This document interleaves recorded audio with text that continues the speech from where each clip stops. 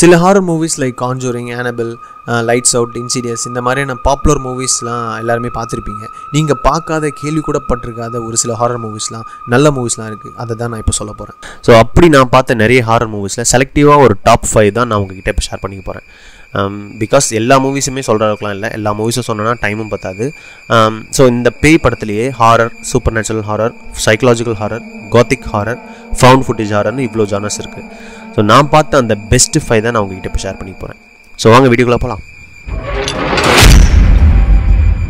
பொதுவாக இந்த வீக்கெண்டில் ஃப்ரீயாக இருக்கும்போது ஆர் இந்த மாதிரியான லாக்டவுன் டேஸ்லலாம் மோஸ்ட்டாக எல்லாரும் வந்து வெப் சீரிஸ் டிவி சீரிஸ் பார்க்குறதுலாம் இன்ட்ரெஸ்ட் அதிகம் வச்சுருப்பாங்க. பட் ஒரு சிலருக்கு இந்த மாதிரியான வெப் சீரிஸ்லலாம் பெரிய உடன்பாடு இருக்காது. அதில் சில பேருக்கு இந்த அமானுஷ்யம் பேய் பிசாசு சூப்பர் நேச்சுரல் ஹாண்டட் பிளேஸ் இந்த மாதிரியான விஷயங்களில் தான் இன்ட்ரெஸ்ட் இருக்கும். அதில் நானும் ஒருத்தன். பயந்தாலுமே அதில் கொஞ்சம் இன்ட்ரெஸ்ட் அதிகமாகவே இருக்கும்.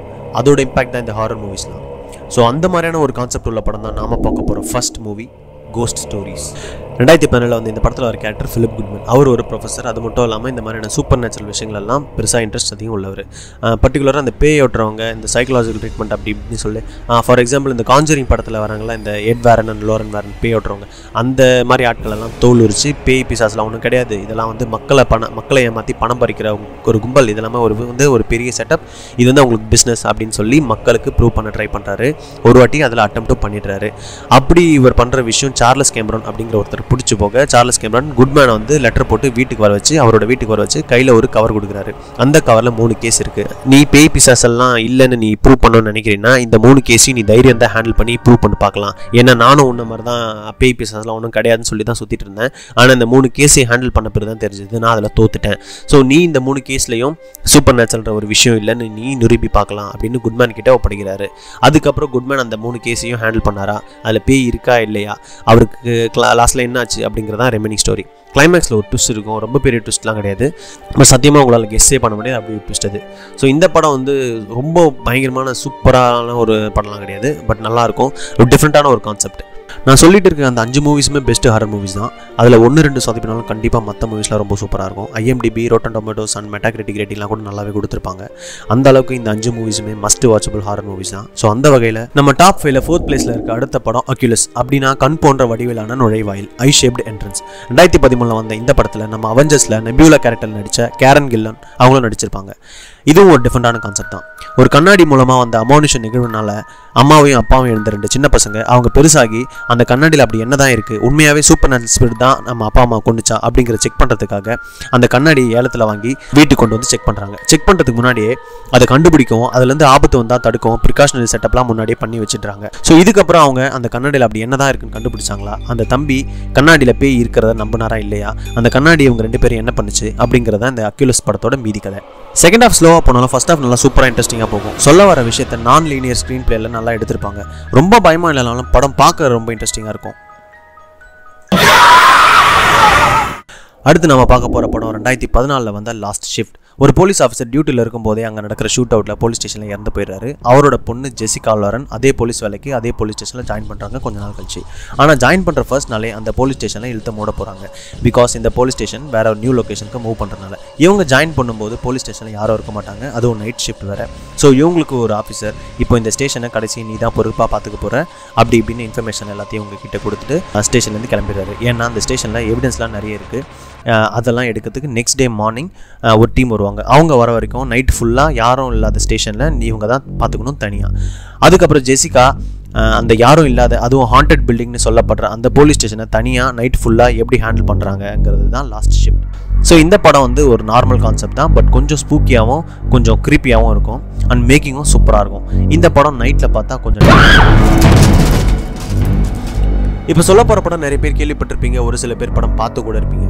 இது தேட்டரில் கூட ரிலீஸ் ஆயிருன்னு கேள்விப்பட்டேன் ஆனால் எத்தனை பேர் பார்த்துருப்பீங்கன்னு தெரில ஸோ பார்க்காதவங்க இப்போ பாருங்கள் ரெண்டாயிரத்தி பதிமூணில் வந்த மாமா படத்தை பற்றி தான் சொல்லிட்டு இருக்கேன். டிஃப்ரெண்ட்டான ஸ்டோரி லைனு கான்செப்ட் அப்பெல்லாம் ஒன்றும் இல்லை.